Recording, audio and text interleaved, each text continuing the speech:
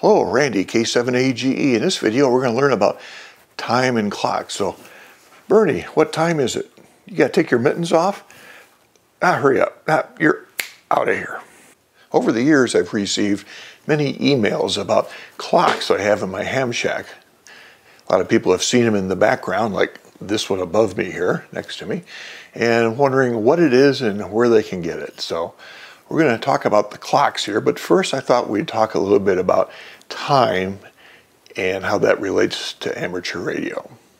As you progress in your amateur radio journey, time will become more important.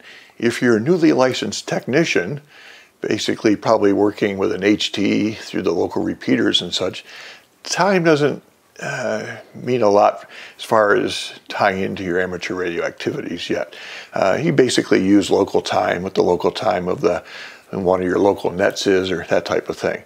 But as you move to HF, time becomes much more important.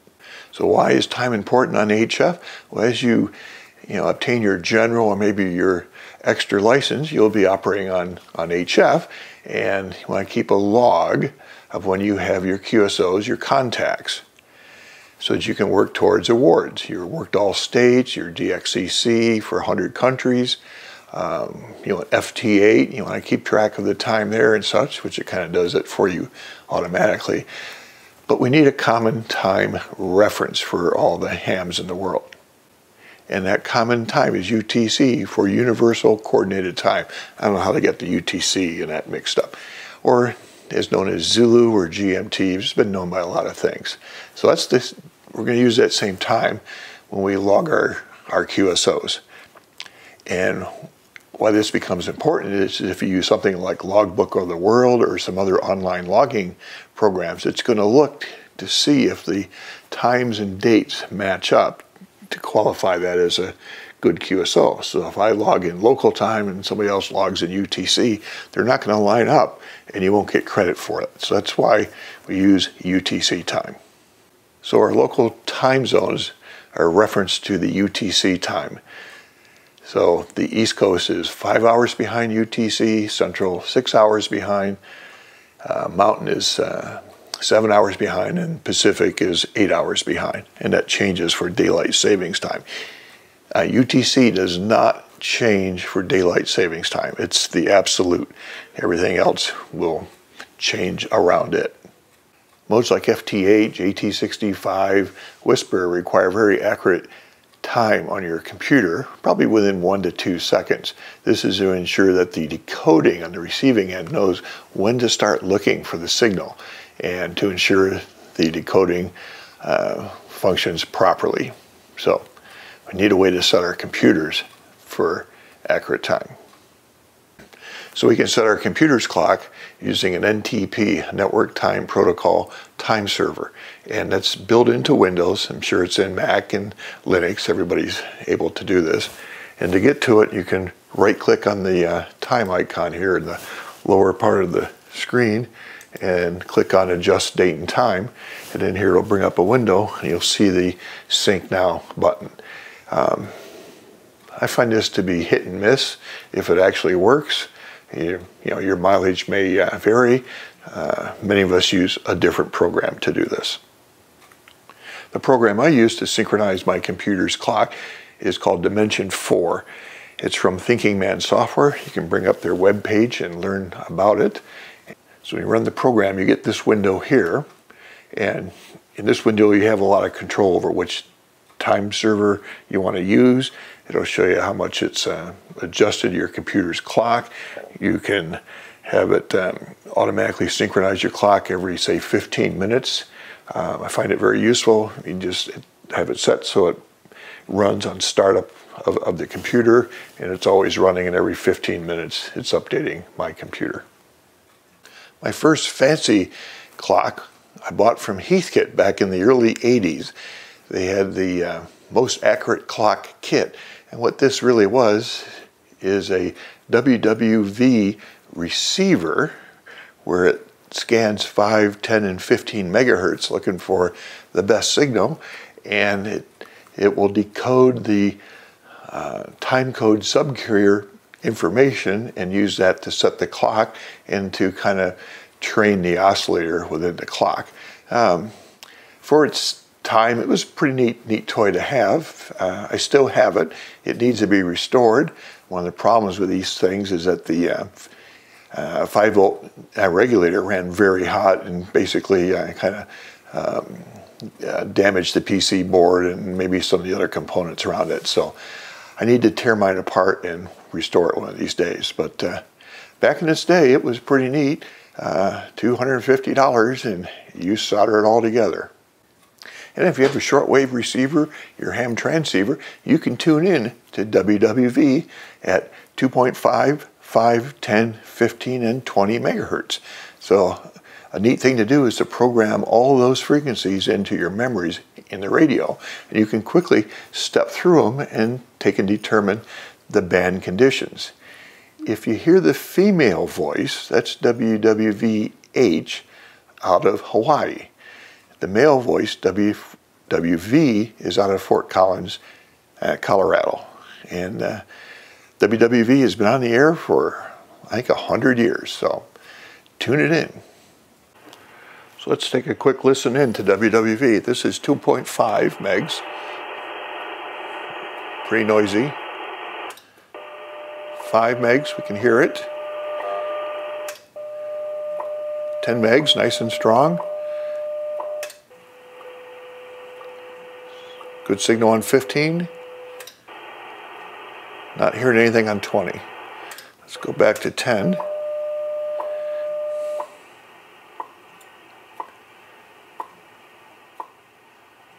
Female voice is very weak. Hawaii. Male is Fort Collins.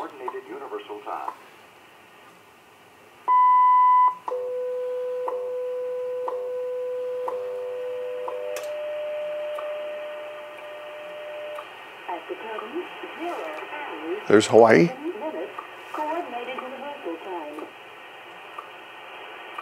No male voice.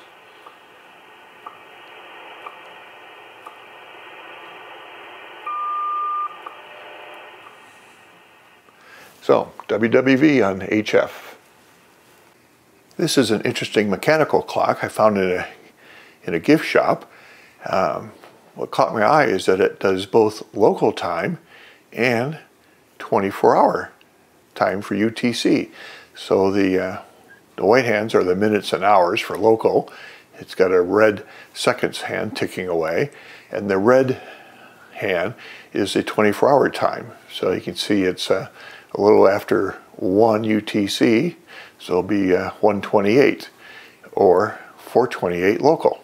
So this is a Trin Tech, I believe it's called, and uh, there's a lot of variations of this when I started to look online. So this is not a an atomic clock. It does not receive the WWVB signal to set itself, but it's nice to have on the wall. This is a large clock I bought a long time ago.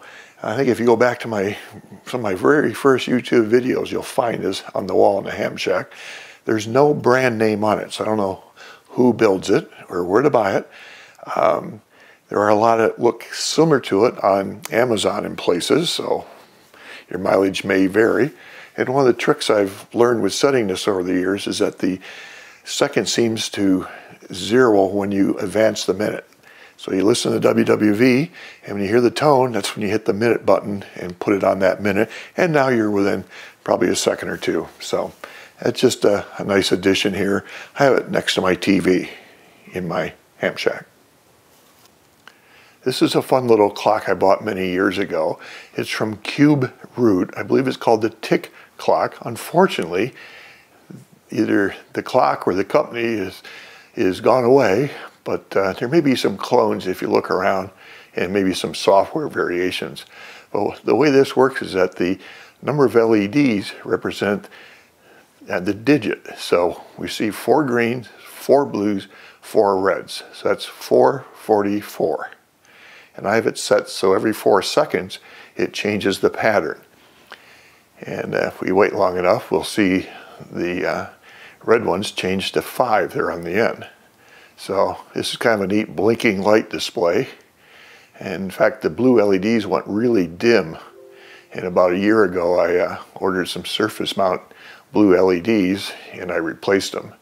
So uh, still 444, 444, 445. There we go. So it's kind of a fun thing to have. So this is my newest, most favorite clock at the moment. I saw this posted on Facebook or Twitter. Somebody had one, I forget where, and I had to have it. So this is from Mixella. It's in uh, the UK. It's a kit. It's 100 pounds or about $137, which includes shipping. And it gives you year, month, day, hours, minutes, seconds, and hundreds of seconds. And this is locked to a GPS. The receiver's on the back side. And there's a little antenna here. It's about a quarter of an inch by, I don't know, three quarters of an inch. And it's inside the house here and it picks up just fine. Uh, the one pulse per second out of the GPS receiver is used to pulse the colons here. Um, this clock can be set up for um, normal daylight as well as standard time. And this would change here between DST and PST or whatever you would have. And I wrote them, I said, can you make it UTC always and only? And he modified the code and uh, this only runs in UTC. And uh, it's pretty neat. I bought some red plexiglass filter material from Tap Plastics and they'll cut it for the size that you want. And I ordered multiple pieces with the idea to make a, a box for this, but uh, you can see the red filter really improves the contrast. So let's turn it up here and see how well it's doing. Zero hours, 56 minutes, coordinated universal time.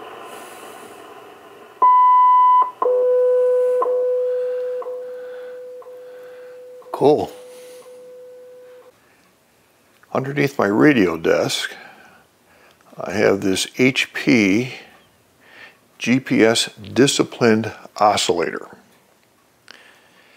I bought this uh, a few years ago. A fellow on the Elecraft mailing list was uh, selling this, and it's one of the things I always wanted. And uh, so this is a GPS. It's a uh, which is used to train a 10 megahertz oscillator. And the oscillator becomes very, very accurate. So if you have a um, radio like an ICOM 7610, I believe you can uh, feed a 10 meg reference signal into the back of that to lock the radio to. Or if you have frequency counters or a spectrum analyzer in your workbench, many of those also have a 10 meg reference. So it just sits down here and uh, runs. I just got it working a couple days ago. I have uh, an outside antenna on this. You know, this is uh, older equipment and uh, it doesn't like locking up with the antenna inside. And uh, so I have this antenna that's outside on a, on a pole so I get a clearer view of the sky. And, uh, and I use Lady Heather software to display a lot of what's going on in here. Let's look at that. So this is Lady Heather software running on my computer here. It connects with a serial cable to the HP. It works with the HP as well as, I don't know, probably a dozen other of these types of devices. When you get into playing with this, you're starting to enter in the, the world of being a time nut. Now, I'm not a time nut. Some of these guys are really deep into this stuff. Um, but this is kind of a neat display. Of course, it has a clock here that's running, and I'll turn up the volume here when we approach uh, zero. It's got an analog clock up here which shows the path of the sun, path of the moons, and path of some of the other planets. Let's, let's turn the volume up.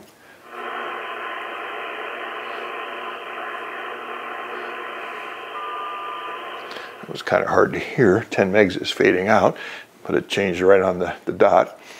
And over here, it shows you all the satellites that it's receiving and latitude and longitude from it, uh, when the sun set and sun elevation. Um, down here is a kind of a like a, like a heat map. So um, this shows the satellites as they're uh, moving through their orbits, it keeps painting the paths on there. And for some reason, I have this null to the north here. I have no idea why. The antenna's out in the clear. Um, maybe somebody who knows more about this than I can yeah, can leave a comment. But uh, this is kind of neat to have running. And here's some graphs of how the GPS discipline oscillator is working inside. So, Lady Heather. So this is ham clock running on a Raspberry Pi. Uh, it's an interesting piece of software. It does an awful lot. It's like a poor man's Geochron. If you don't want to spend uh, $550 on a big monitor, you can, for price of a Raspberry Pi, you can have, have this running on an older monitor. And uh, it does a lot of things. I have it currently tracking the ISS space station. It tells me it will rise in one hour and in nine minutes over my location there. Um, I have this window here. These little displays can, uh, you can choose different types of information. So I'm showing the number of sunspots, which is zero. The solar flux index is 74. And it grabs online pictures of the sun. The time display, when you boot up the program, it cycles through looking for NTP servers. It checks a few and it finds the, the one it likes the best. It sets the clock. So that runs accurate as well. I just missed the WWV beep, so kind of neat thing to have. If you live along the coast of an ocean, it's nice to know what the tides are. So this is a tide clock, has a normal clock and a tide clock, and it's over a, a topographical map of the southern Oregon coast. So it's kind of a nice novelty clock. And the last clock I have is a grandfather's clock. And this is kind of special to me because when my father retired from Eastman Kodak, he built two of these, one for myself and one for my sister. And uh, she has hers, and I didn't get my clock until uh, both my parents passed away. So uh, I have it now. I think he built this back in uh, late 80s. So the pendulum keeps going tick, tock, tick. So I hope you uh, were able to uh, learn a few things and find out about the clocks here that I use in my, my ham shack. It seems like when daylight savings and we switch in and out of that, that uh, after 20 or 30 clocks, I have them all in the house reset. So uh, thanks for watching. And if you enjoyed this, uh, please give me a thumbs up and uh, please subscribe to the channel. Again, this is Randy, K7AGE. Remember, Technology is no place for wimps. WWV. All the time, all the time. Same time, same station, every time. WWV. One, two, three, four. Every second counts at WWV. For a good time, call 555 for WWV. WWV for the time of your life. We'll be back with the time on WWV in just a minute, but first, here's another minute.